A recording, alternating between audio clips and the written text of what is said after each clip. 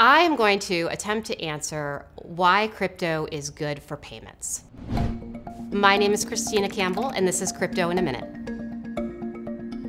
So, I'm gonna take the easiest payments transaction I think I make in a month, and that is paying a bill through my bank. Uh, when I pay that bill, I do it via an ACH, the money's immediately debited from my account, and whoever I'm paying doesn't get it for two, three, five days later. Crypto is good for payments because it gets rid of that two, three, and five days and makes it instant for when that biller receives my money.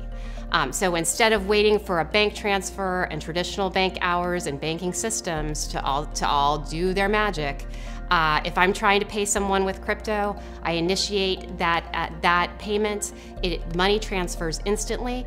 Works essentially the same way email does over the internet, where instead of data transferring like that so quickly, it's actually the value that's moving that quickly. Uh, so that's why I feel like crypto is great for payments.